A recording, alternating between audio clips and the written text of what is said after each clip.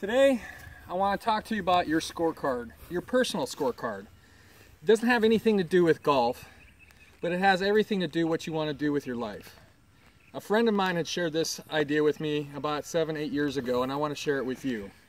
You see, back in 2007, 2008, things weren't going so well. Real estate was bad, the banks weren't loaning money, and I was forced to make a decision. Do I stay in real estate or do I find another business that I can provide for my family? And while the rental properties were making money, it wasn't enough for us to keep going. So I started looking for different business ideas. When she shared with me her scorecard idea, I ran that against the things I wanted to do. And one of the things that she had me do was what, what she calls a brain dump. Basically, you take a piece of paper and a pencil, and in one column, you write down all the things that are important to you personally. Now, for me, I like my free time. I like to play hard. I like to work hard. Uh, I like to golf. I like to kiteboard. I like to spend time with my family. I like to work at my church. All these things were important to me, so I wrote all of those down in that one column because that was personal to me, and that's what I had a lot of passion for. The second thing you want to do is look at your family. Where are your goals for your family? What is it that you want to do? Uh, for us, we homeschool, so our, our lifestyle is a little bit different than other people.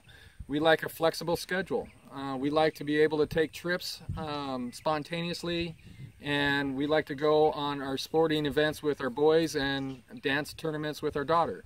So, in our family lifestyle, there are certain things that were important to us that we wrote down in that column. The third thing was financially, not financially for today, but financially 5, 10, 20 years from now, where do you want to be? And that's the that's the big question if you're here, how do you get over here in 20 years? And so you have to have a game plan as far as how much money do I want to make? How much can I be comfortable with? What does that number look like? And, and then you figure out how I'm going to get there through your business ideas. So with those three things in mind, your personal, your family, and then your financial goals, you're able to run your scorecard against your business ideas. Now your business ideas, you, you ask these questions. Does it meet my personal goals? Is it going to allow me to do the things that I like to do with my family? When I had a printing business, I was working 60 to 80 hours a week. I knew I needed to get out of that business. It was killing me. I wanted to find something that was going to work for me in my lifestyle with my family. Um, financially, financially, where are you going to be? I like real estate because real estate, the things that I do today are going to pay me for a lifetime of where I'm going to go from here. And so that residual income, that passive income was very important to me. Your scorecard may be different, and that's up to you to decide. But what I do is I'd like to challenge you and figure out what are the things that are important to you? Is this where you want to be, and is this where you're going to go?